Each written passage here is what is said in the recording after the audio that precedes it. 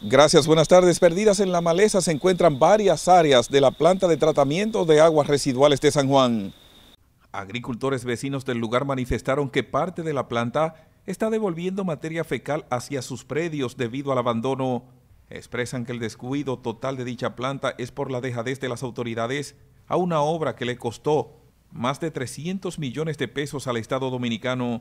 Como están los montes, los bosques, esto se ha convertido en una jungla que es muy peligrosa para los que caminamos por aquí.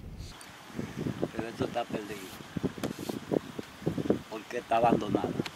Agregan que fruto del descuido en la parte baja de dicha planta de tratamiento, se obstruyó el camino hacia sus tierras, razón por la que deben atravesar el lugar para poder llegar a sus predios. No tienen sin camino.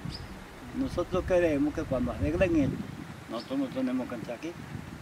Que los productores que estamos aquí, ese campo que está ahí a mi derecha ya hay una parte que en hora de la mañana no se puede trabajar porque mal olor no se soporta, no se aguanta. Fruto del abandono desaprensivo se dan a la tarea de dedicarse a pescar para venderle pescados contaminados a la población. De unas cinco piscinas de aguas residuales, solo una está en buenas condiciones según se apreció. Varias partes de esta planta de tratamiento de aguas residuales de San Juan ni siquiera se observan debido a la maleza que ha crecido en medio de la misma.